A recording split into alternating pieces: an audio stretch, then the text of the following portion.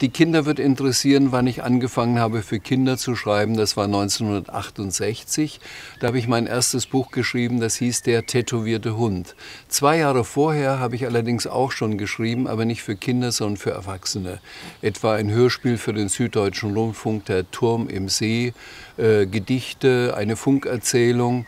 Und erst durch die eigenen Kinder, die so, oder ich muss sagen, das der Älteste, der Michael, die anderen waren noch zu klein, der so geschichtenhungrig war, dass er fünfmal am Tag sagte, Papa, erzählst du mir eine Geschichte?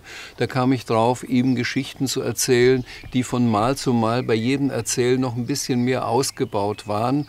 Und es war keineswegs so, dass er sagte, die Geschichte hast du mir schon mal erzählt, sondern er hörte gerne die Geschichten, die ich schon einmal erzählt hatte.